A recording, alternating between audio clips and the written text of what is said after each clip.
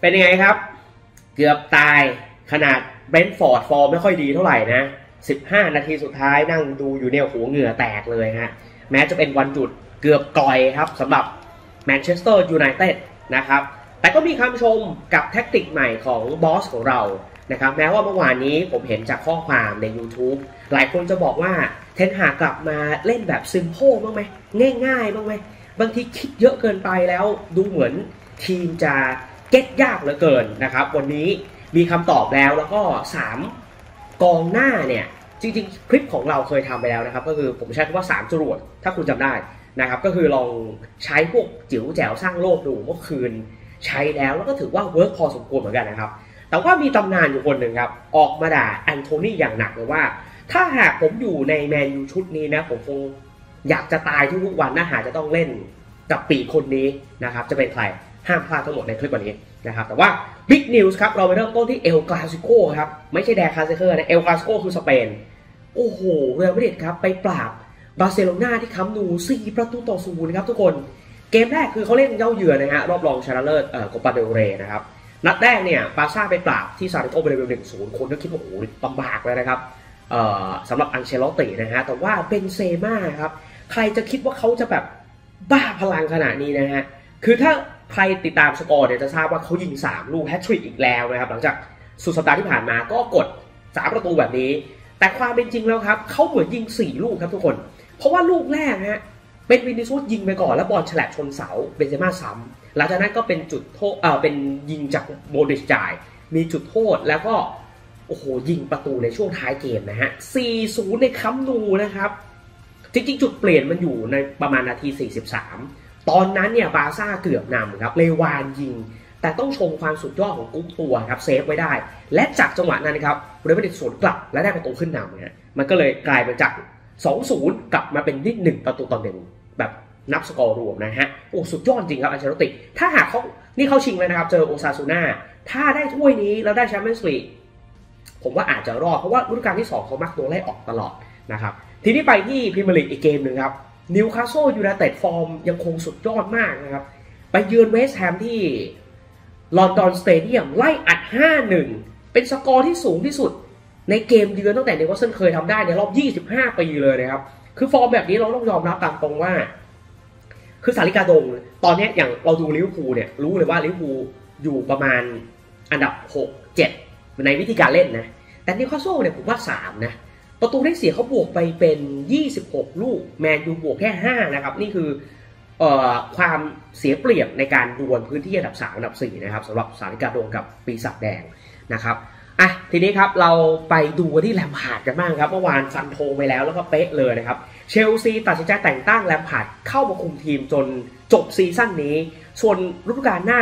ค่อนข้างแน่ชัดว่าหลุยส์เอ็นริเก้รับงานแน่ๆนะครับ โอ้ตอนนี้แฟนบอลเชลซีก็เฮกันใหญ่เลยครับ ในขณะที่แกรมพอตเตอร์นะฮะโดนปลดไป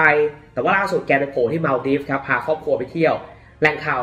รายงานบอกว่าก็ยังแอบดูสกอร์ตลอดนะครับว่าเชลซีเป็นยังไงในเกมที่เจอกับลิเวอร์พูลนะครับอะตอนนี้แลมพาร์ดนี่สุดยอดจริงนะฮะ legend นะครับกลับมาช่วยนะครับ ปิดท้าย Big News กันด้วยเออร์ลิงฮาแลนด์น่าจะพอทราบกันดีว่าฮาแลนด์เพิ่งเซ็นสัญญาใหม่กับไนกี้นะครับได้เงินไป 20 ล้านปอนด์นะครับ ล่าสุดพาแฟนไปลอนดอนครับ ลงมาจากแมนเชสเตอร์นะฮะ ลอนดอนอยู่เยื้องๆใต้หน่อยนะครับ ถ้าใครเคยไปลอนดอนคุณต้องเคยไปช้อปปิ้งที่นี่ครับอ็อกซ์ฟอร์ดสตรีทหรือว่าอ็อกซ์ฟอร์ดสตรีทนะภาษาอังกฤษนะครับ และอ็อกซ์ฟอร์ดสตรีทเนี่ยนะครับ มันจะมีไนกี้ทาวน์ครับ เดี๋ยวรอบหน้าพาไปนะครับ รอบนี้ที่ไปทัวร์กับผมเนี่ย เราอยู่ที่แมนเชสเตอร์อย่างเดียวเพราะว่าค่าทัวร์มันแสนเดียวนะ แต่ถ้ารอบหน้าเนี่ยเพิ่มงบสักคนละหมื่นห้าเนี่ย เดี๋ยวพาไปลอนดอนด้วยแล้วต้องไปอ็อกซ์ฟอร์ดสตรีทแล้วถ้าใครบ้ารองเท้าไนกี้นะครับคุณต้องไปไนกี้ทาวน์ครับประเด็นคือไนกี้สุดยอดมากนะครับ เอาเออร์ลิงฮาแลนด์เนี่ยมาที่ร้านแห่งนี้ได้โอ้โหร้านแทบแตกเลยครับ แล้วก็มีผู้โชคดีได้รองเท้าสตั๊ดจากเออร์ลิงฮาแลนด์ไปด้วยนะครับอยากพาไปจริงที่นี่นี่คือ ศูนย์รวมคืออารมณ์ประมาณไนกี้คือไนกี้ทาวน์อะนึกออกปะ คือเมืองของไนกี้จริงๆ ถ้าใครชื่นชอบนะฮะก็เดี๋ยวไว้พาไปนะครับ อะ นี่คือ Big News ในค่ำคืนนี้ ช่วงหน้าครับ จะไปเล่าให้ฟังว่าแผนของเทนฮากมีการ total football อีกครั้งหนึ่งทำไมต้องทำแบบนั้น เมื่อวานบรูโน่เหมือนเป็นตัวหลอกเลย แล้วซานโชลงตัวจริงก่อนเวกฮอร์สเป็นอย่างไร ห้ามพลาดทั้งหมดในรายการวันนี้ครับ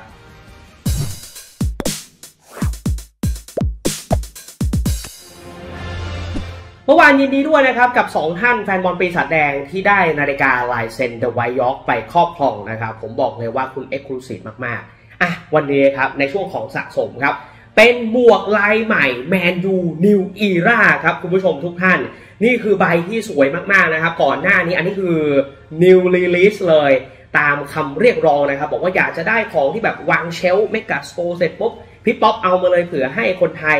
ได้มาแบบเป็นเจ้าของใหม่ที่แบบเท่ๆบ้าง ไม่เอาของลดราคาอย่างเดียวอะเราก็สลับกันไปนะครับ วันก่อนก็มีเซลล์ไปบ้างแล้ว วันนี้เป็นหมวกลายใหม่ครับ หลังจากที่เคยเอาสีดำมาแล้ว อันนั้นก็ใหม่เหมือนกันนะครับโหอันนี้นี่คือสวยสดงดงามจริงๆครับคุณผู้ชมครับ มันเป็นหมวก New Era ที่ Unisex ย้ำอีกที Unisex ก็คือใส่ได้ทั้งผู้หญิงแล้วก็ผู้ชาย คุณลองดูตอนผมใส่ ผู้ชายมันก็เข้านะครับ มันเป็นสีชมพูดำ นะครับ แล้วข้างในฮะมันเป็นสีน้ำเงินคือเป็นสามสีที่ทำมาได้ยังไง แล้วสวยมากๆเลยนะครับ คือ New Era เทพของวงการหมวกอย่างแท้จริงนะครับเพราะฉะนั้นใครอยากได้หมวกใบนี้นะครับ อันนี้สำหรับผู้ชายนะครับ 2,900 บาท ทีนี้ครับที่เขาบอกยูนิเซ็กซ์คือใส่ได้ทั้งหญิงและชายลองไปดูผู้หญิงครับ น้องมิ้นวันนี้ใส่มาให้ดูนะฮะ ดูเป็นไงครับ โอ้โห สวยสดงดงามนะฮะ ทั้งคนใส่แล้วก็หมวกนะครับ สุภาพสตรีใครที่อยากใส่สวยแบบนี้นะฮะติดต่อไม่ได้เช่นเดียวกันที่ไลน์ Official Account ตรงนี้เลยนะครับเพราะมันเป็นลายใหม่อันนี้มันลดราคาไม่ได้นะครับมาสูงนิดนึงนะครับก็คือยังเกาะที่ราคาเดิมไม่ให้เกิน 3,000 บาทนะครับก็คือ 2,900 บาทสำหรับหมวก New Era สีใหม่ชมพูดำข้างในเป็นสีน้ำเงิน ใส่ได้ทั้งผู้หญิงแล้วก็ผู้ชายครับ ทีนี้ครับไอหมวกสีดำนะฮะที่มีคน pre-order ไปของมาเมื่อวานพรุ่งนี้เดี๋ยวรอจัดส่งได้เลยนะครับ น่าจะเหลืออีก 5 ใบนะครับ คือผมสั่งมาสิบ pre-order 5ใครอยากได้สีดำวันนี้ก็สั่งได้เช่นเดียวกันนะครับ ก็คือทั้งดำแล้วก็ตัวชมพูเนี้ยเป็นของใหม่ของ New Era กับแมนอยู่ที่ Mega Store ทั้งสิ้นนะครับ เพราะฉะนั้นใบละ 2,900 บาทจะชมพู หรือว่าจะดำไลน์หาได้เลยแอดบล็อกปีละคนตรงนี้หรือว่าสแกน QR Code นะครับ ย้ำทีนะฮะใครที่อยากจะสั่งย้อนหลังอันไหนนะครับ ก็ลองไปถามน้องได้ ส่วนใครสแกน QR Code ไม่ได้ง่ายที่เดียวครับ พียงคุณกดไปที่กล้องโทรศัพท์มือถือของคุณนะครับ แล้วก็เอามาจี้ที่ QR Code ตรงนี้ครับ เหมือนเวลาเราจ่ายตังกินข้าวทั่วไปครับ เราก็จะเป็นเพื่อนกันแล้วนะครับ ทักหาน้องผมได้เลยครับ เมื่อคืนนี้ก็ถือว่าเป็นเกมที่ยากเกินคาดเหมือนกันนะครับ เพราะเบรนท์ฟอร์ดก็ไม่ได้อยู่ในฟอร์มที่ดี แมนยูเต็ดอยากจะแก้ตัวนะครับ แม้ว่าเอริกเทนฮากจะบอกว่า เฮ้ย คุณจะมานับการไม่ยิงในลีกสามนัดติดได้ยังไงนะครับ ในเมื่อโปรแกรมเนี่ยมันมีคั่นด้วยบอลยุโรป นะครับโอเค ความพ่ายแพ้กับนิวคาสเซิลยูไนเต็ดเนี่ยมันเป็นสิ่งที่แก้ตัวไม่ได้อยู่แล้วนะครับแต่ว่าถ้าหากย้อนกลับไปที่ยิงไม่ได้มาต่อเนื่องเนี่ยอย่างนัดเจอเซาแธมป์ตันเนี่ยพูดไม่ได้เพราะว่าคาเซเมโรโดนไล่ออกแล้วเราเล่น 10 10 men เราเล่น 10 คนมาตั้งนานนัดนี้ก็แบบโอ้โหอยากแก้ตัวมากๆเลยนะครับ จัดไปปุ๊บสายตุ้มตั้มตุ้มตัมแต่การจัดทัพก็เห็นได้ชัดอีกครั้งหนึ่งว่า เขาคงไม่ใช้เฟร็ดกับไอ้โทมิเนย์คู่กันอีกแล้ว จากสถิติที่เราเคยเล่าไปก็คือเคยใช้ต้นซีซั่นรอบเดียวนะครับเขาคงมองว่าซาบิเซอร์เหมือนเป็นตัวแทนอีริคเซ่นแต่พอลงไปวิ่งในสนามจริงๆแล้วแผนไม่ได้เป็นแบบซาบิเซอร์คู่กับแม็กโทมิเนแล้วก็บรูโน่เล่น playmaker อย่างที่เราเห็นนะครับ ที่เปลี่ยนชัดเจนเลยก็คือเอาเวกฮอร์สต์ออกใช่ไหมแล้วเอาซานโชลงมาซานโชได้ปักหลักซ้ายแน่นอน ขวาไปแอนโทนีแล้วก็หน้าเป้าไปแรดฟอร์ดสามตัวแดนหน้าเนี่ย fix นะครับแต่ไอตรงกลางเนี่ยครับไม่ใช่เลยฮะหลายจังหวะที่บรูโน่แฟร์นันเดสเนี่ยลงมาต่ำแทบจะที่สุดเลยนะครับ คือลงมาตำแหน่งที่แบบล่างสุดอะ deep lying midfield นะครับแม็กโทมิเนยังยืนสูงกว่าเลย และซาบิเซอร์คือตำแหน่งบรูโน่เลยครับ คือ number 10 ครับตำแหน่ง playmaker ตัวกลางนะครับเขาอาจจะพยายามจะแก้ทางซาบิเซอร์ก็ได้ เพราะว่า ไอ้วันที่เจอกับนิวคาสเซิลเนี่ยซาบิเซอร์เล่นตัวคาเซมิโร่เลยนะครับ แต่นั่นคือ 4-1-4-1 อันนี้มันก็คล้ายๆ 4-2-3-1 แหละ แต่มันเหมือนโท t a l ฟุตบอลครับคุณผู้ชม มีการสลับตำแหน่งกันตลอดเวลาบรูโน่บางทีก็โดนฉีกไปซ้ายเออซานโชเข้ามาตรงกลางเล่นกับซาบิเซอร์ซาบิเซอร์นี่คือเป็นเป็นหลังแรชฟอร์ดชัดเจนมากนะครับเปลี่ยนไปเปลี่ยนมาอะสลับอยู่ดีๆลูกชอเข้ามาจ่ายบอลตรงกลางเหมือนแผนของเป๊ป กวาร์ดิโอลาซึ่งแผนนี้แมนยูเคยใช้แล้วในช่วง pre-season นะครับผมพูดแบบเป็นกลางแบบนี้ว่าหลายคนบ่นแผนเทนฮากว่าโหบางทีเปลี่ยนเยอะแล้ว นักเตะงงหรือเปล่า แผนการเล่นแล้วก็ผลการแข่งขันมันไม่ได้นะครับ อย่างนัดเนี้ยเราแสดงให้เห็นว่ามันมีทั้งข้อดีข้อเสียครับ ข้อดีก็มี เพราะว่าถ้าเราวางแผนแบบเดิมเนี่ยเราเหมือนจะโดนจับทางได้แล้วครับกับจำนวนประตูที่มันลดลงมาเรื่อยๆครับคือถ้าเราให้บรูโน่เล่น playmaker เขาจับบรูโน่ก็จบแรชฟอร์ดเล่นทางซ้ายก็จบนะฮะอันนี้คือมีการหมุนตำแหน่งแล้วทำให้คู่แข่งจับทางไม่ได้ แต่ก็แน่นอนครับเมื่อเปลี่ยนมันก็ต้องมีจุดอ่อนก็คือบางทีนักฟุตบอลอาจจะหมุนไม่ทัน แล้วก็เกิดเขาเรียกไม่ต่อเนื่องในการทำเกมนั่นเองนะครับทีเนี้ย แมนยูก็ถือว่านัดนี้เล่นใช้ได้นะครับ การมูฟเมนต์ผู้พยายามสังเกตชมทางขวาของดาโลกับอันโทนีว่าดีขึ้น การน่าจะวิ่งในสนามซ้อมน่าจะวิ่งกลวยมาได้ดีพอสมควรนะครับ แต่คนที่ตัวจับผิดมากที่สุดในเกมนี้คือเวคคอนครับ แม้ว่าเขาจะลงเพลครึ่งเวลาหลังก็ตามทีนะครับ คือในนัดที่เจอกับนิวคาสเซิลครับเขาเล่นไป 62 นาทีคุณผู้ชมครับ เขาจับบอลไปทั้งสิ้น10 touch บอลฮะ มันมีตัวเลขออกมาด้วยนะครับว่าจริงๆแล้วเนี่ยแต่นี่ไม่ต้องยอมอะพูดให้ฟังว่าเขาจับบอลน้อยกว่านิกโป๊ปอีกฮะแต่ก็แน่นอนเพราะว่านิกโป๊ปเนี่ยเขาต้องเอาบอลมาตั้งแล้วเตะมันก็คิดนับเป็นหนึ่ง touch บอลใช่ไหมครับ แต่โอเค คนที่สมควรจะจับมาเปรียบเทียบคือซานโชเพราะเขาลงแทนกันแม้ว่าจะคนละตำแหน่งนะครับซานโชตอนแรกได้รับคำชมพอสมควรนะครับว่า make impact สร้างความแตกต่างได้ในพื้นที่ทางซ้ายนะครับ เออเอลิกทันหาเองก็ชมนะครับว่าเออจารุซานโชใน creativity คือความสร้างสรรค์ดี แล้วก็ final pass ครับ ผมแนะนำคนนี้อะ final pass คือบอลสุดท้ายครับ บอลสุดท้ายประมาณไหน ประมาณว่าเลี้ยงเลี้ยงเลี้ยงเลี้ยงไปแล้วแทงปุ้งให้แลนฟอร์ดหรือเลี้ยงเลี้ยงเลี้ยงไปเห็นอันโทนีแล้วตบให้อันโทนีทำอะไรในพื้นที่สุดท้าย final pass คือการจ่ายบอลก่อนยิงอะไรประมาณนี้นะฮะแล้วก็เขาทำได้ดีมากในสถานการณ์ one on one นะครับ one on one ก็คือตัวต่อตัว เลี้ยงบอลผ่านนะครับดิ้นหนีได้หลายจังหวะนะครับซึ่งจริงๆเราก็เคยนำเสนอไปแล้วว่าเอ้ยลองไหมบางครั้งใช้เป็นแบบ 3จรวดข้างหน้าไม่ต้องใช้เวกฮอร์สต์ก็ได้ drop เขาบ้างนะครับไอ้สามจรวดเนี่ยผมหมายถึงมาร์กซิยาลด้วยนะครับก็คือเขาพร้อมเมื่อไหร่เนี่ยเราอยากเห็นมาร์กซิยาลซ้ายเป็นแรชฟอร์ดและขวาเป็นอันโทนีหรือซานโชนะครับซึ่งเมื่อคืนก็ถือว่าได้เห็นแล้วถามว่าผ่านไหมพอสมควรครับไม่ถึงขนาดดีมาก เพราะอันโทนีก็ยังมีการเลือกช็อตที่ไม่ค่อย work หลายจังหวะ นะครับแต่กลับมาที่ซานโชซานโชเนี่ยมีสถิติว่าผ่านไป 30 กว่านาทีเนี่ยเขา touch บอลไป 28 ครั้งนะครับก็ถือว่าได้รับคำชม แต่เดี๋ยวเดี๋ยวเดี๋ยวเดี๋ยวไปดูนะ อันนี้เป็นคำชมของครอปลิสเดอร์ซันนะ แต่เดี๋ยวมันนั้นให้คะแนนน้อยผมละงงมากเลยนะครับทีนี้ครับอันโทนี่ก็โดนแอนติโควิจารณ์นะครับ คือแอนติโคเนี่ยวันก่อนเพิ่งสัมภาษณ์ไวยอกไป โคไปให้สัมภาษณ์บอกว่าโห ถ้าผมต้องมาเป็นกองหน้าแมนยูยุคนี้นะ แล้วเจอปีกอย่างอันโทนี่เนี่ยผมผมตายดีกว่านะครับ ผมพูไมแฮร์เอาแบบผมยอมกัดลิ้นตายแต่วันนี้มันเป็นสำนวนนะครับ แกบอกว่าอันโทนี่เนี่ยไม่มีทางที่จะเปิดบอลด้านข้างได้เลย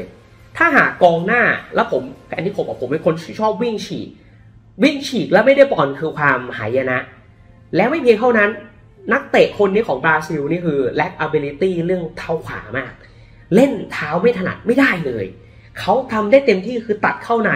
ชอบ cut inside แล้วยิง แล้วยิงก็ไม่ค่อยได้เรื่องอะไร ถึงขนาดมีแฟนบอลแมนอยู่บอกเอาไอร็อบเบนไปสอนมาหน่อยไหมว่าวิธีการยิงยิงยังไงนะครับไอ้ที่โคบอกโอ้โหถ้าผมเป็นกองหน้าตัวเป้าที่ผมเจอแบบนี้ผมตายแน่ๆเลยนะนะครับคือเล่นเท้าขวาอะไรไม่ได้เลยนะครับ แล้วก็เขาบอกว่าอันโทนี่เนี่ยคือน่าจะประเมินพิมลีกมาต่ำกว่าที่เขาคิดนะครับ คือไม่ได้บอกว่าพิมลีก เขาจัดการได้หมดหรอกแต่ว่า พอมาเล่นแล้วโหคิดว่ายากอะแต่มันยากกว่าที่อันโทนี่คิดไปเยอะกองหลังจะดักทางปีกคนนี้ดักง่ายมากเพราะเขาแตะเข้าซ้ายอย่างเดียว มันไม่มีอะไรเซอร์ไพรส์เกมรับเลย เกมรับก็แค่ซ้อนหนึ่งไม่ได้ก็ซ้อนสองทางทางซ้ายเขาก็จบนะครับแต่ก็ต้องเข้าใจว่า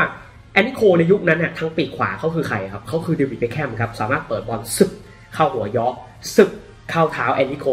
ปึ้งเข้าหัวเชอริงแฮมปึ้งให้โอเล่กุนนาร์ โซลชาร์ volley มันก็เปรียบเทียบกันยากใช่ไหมครับ ในขณะที่บรูโน่ แฟร์นันเดสนัดนี้เนี่ย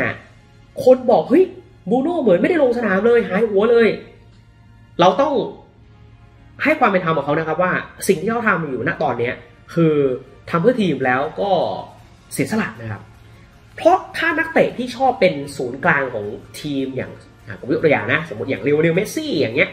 เขาไม่ชอบหรอกครับที่จะเปลี่ยนบทบาทตัวเองมาเป็นตัวหลอกนะครับ แต่บรูโน่เมื่อคืนนี้คล้ายกับตัวหลอกครับทางซ้าย แล้วก็ต้องมาเป็นตัวรับบอลเพราะเอาจริงๆครับ ระหว่างกองหลังสมมติลิซานโดให้วารานให้ตรงกลางใช่ไหมคนพลิกบอลไปข้างหน้าแม็กโทมิเนซาบิเซอร์บรูโน่เพื่อนไว้ใจบรูโน่สุด เพราะฉะนั้นบรูโน่เมื่อคืนที่บทบาทน้อยมาก เพราะว่าเขาอยู่ในพื้นที่ไม่อันตราย เขาลงมารับบอล ต่ำกว่าครึ่งสนามเส้นครึ่งสนามด้วยซ้ำนั่นคือความเสียสละของเขานะครับ คนอาจจะมองไม่เห็นว่า เอ๊ะทำไมเมื่อคืนนี่คือฟอร์มหายหัวไปเลย จ่ายบอลทำไมไม่มีทีเด็ดอะไรเลยนะครับเพราะว่าเขาไม่ได้อยู่ในกรอบเขตโทษนั่นเอง เมื่อคืนนี้ playmaker คือซาบิตเซอร์นะครับอย่าเข้าใจผิดนะครับอะทีนี้มาดูคะแนนความสามารถกันบ้างครับ อย่างที่ผมบอกครับ ผมไปที่ The Sun นะฮะผมก็งงกับมันนะคอลัมนิสต์มันเขียนชมซานโชว่า โอ้โห make impact เอ่อทำได้อย่างยอดเยี่ยม 30 กว่านาทีจับบอลเยอะกว่าเวกฮอร์สต์มหาศาล แต่มันดันให้เขา 5 คะแนน ผมก็ช็อกอยู่เหมือนกันนะครับ The Sun ให้แรชฟอร์ด8คะแนนนะครับนอกนั้นก็ 7 มีด่าดาบิด เดเคอาเล็กเล็กน้อยเดเคอามีจังหวะเมื่อวานก็มีคนถามใช่ไหมเราทำเรื่องทำไมต้องออกบอลจากด้านหลัง ซึ่งเทน ฮากบอกไปแล้ว คนก็บอกรู้เดเคอาเปิดบอลไม่เรื่องเลยนะครับแต่เมื่อคืนมันมีช็อตหนึ่งที่ใครวะมาลาเซียมั้งลุค ชอว์เจ็บนะฮะเออมาลาเซียคืนบอลแรงฮะแล้วเดเคอากระโดดจับบอลได้ขาข้าง ขาข้างเดียวของคนเฮทั้งสนามเลยนะบอกแล้วทักษะไม่ได้ไม่ได้ไม่มีปัญหาไม่ได้มีปัญหา แต่ว่าเรื่องวิสัยทัศน์ในการจ่ายบอลต่างหากที่เขาไม่ค่อยละเอียดเท่าไหร่นะครับเอ้ยผมอัปเดตลุค ชอว์นิดนึงก่อนในตารางคะแนนเอ้ยก่อนไปที่คะแนนความสามารถนะฮะลุค ชอว์เจ็บตั้งแต่นาที 37 นะครับ ลงสนามนัดที่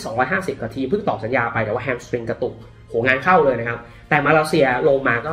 ถือว่าทดแทนได้นะครับอะนอกเหนือจาก Sun ไปดูที่ Daily Mail Daily Mail นี่คือให้กลางๆหมดนะครับ แต่เขาให้ เออเดี๋ยวก่อนนะ The Sun ไปให้อันโทนี่ที่5คะแนนซึ่งตรงนี้ก็เป็นสิ่งที่แปลกใจนะครับเออซานโช5อันโทนี่5แต่ว่า Daily Mail ให้อันโทนี่7นะครับแล้วพวกเออแม็กโทมิเนย์ก็ 6.5 นะครับ Manchester Evening News ครับซามูเอล ลักเฮิร์สต์อ่าคนที่ไม่มีเวกฮอร์สต์ให้แซะ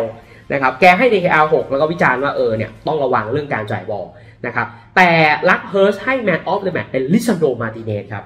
หลายๆสื่อให้แรชฟอร์ดเพราะเป็นคนทำประตูได้ นะครับแล้วก็ชื่นชม อันนี้ Manchester Evening News นะครับชื่นชมซาบิตเซอร์ว่าโอ้โหจังหวะตะบึงขึ้นไปมีแรงที่แข็งแรงแล้วก็เป็นคน assist ให้แรชฟอร์ดทำประตู แต่ว่า man of the match ของลักเฮิร์สต์คือลิซานโดร มาร์ติเนซซึ่งผมเห็นด้วยนะครับ ผมนั่งดูนัดนี้แล้วผมแบบตั้งแต่นัดเจอนิวคาสเซิลแล้วอะในวันที่เพื่อนฟอร์มตกแทบทั้งทีมอะแต่ลิซานโดรกับวาราน ยังคงเป็นเสาเอกยังคงเป็นเสาเข็มให้กับทีมได้อะไม่คิดนะว่าสองคนนี้จะเหนียวขนาดนี้ เมื่อคืนลิซานโดรนี่คือมาตรฐานมากนะฮะมันผมชอบจังหวะหนึ่งมากที่ไอวานโทนี่กำลังจะโต้กลับ แล้วมันวิ่งเข้าไปสไลด์ก่อนที่จะวิ่งกลับหลังอะแล้วเป็นการสไลด์โดนบอลไม่ไม่เสียฟาวล์ด้วยครับ คือแม็กไกวร์ไม่มีทางสู้เขาได้เลยถ้าเขายังคง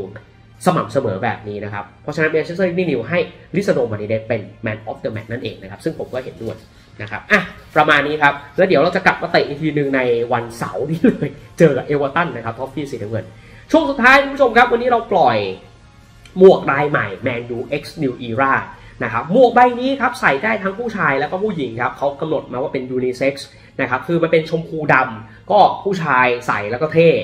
นะครับแล้วข้างในเนี่ยมันเป็นสีน้ำเงินกรมท่าสวยมาก มันเป็น 3 สีที่ตัดกันได้อย่างเหลือเชื่อ ก็คือชมพูดำแล้วก็น้ำเงินนะอันนี้เป็นลายใหม่ New Release เลยที่เพิ่งวางในเมก a โ t ร์นะครับเห็น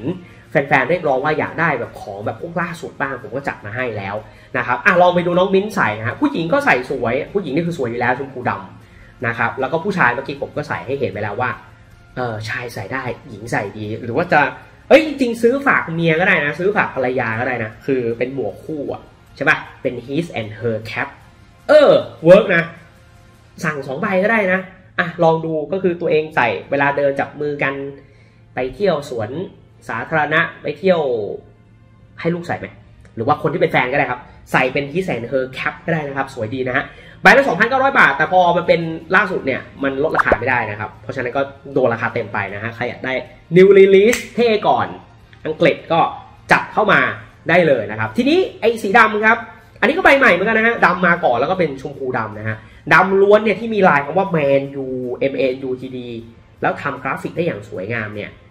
คน pre-order มา5ใบผมสั่งมาสิบเพราะฉะนั้นเหลืออีก5นะครับ คุณสามารถสั่งได้ อันนี้มีของด้วยนะครับ ก็คือพรุ่งนี้ส่งได้เลยนะครับ ส่วนหมวกชมพูดำมี 10ใบ หมวกดำมี 5 ใบไปหา Official Account ตรงนี้ได้เลยนะครับ ย้ำนะครับว่าใครที่เอ่อทำไม่เป็นนะครับ ไปเพิ่มเพื่อนยังไง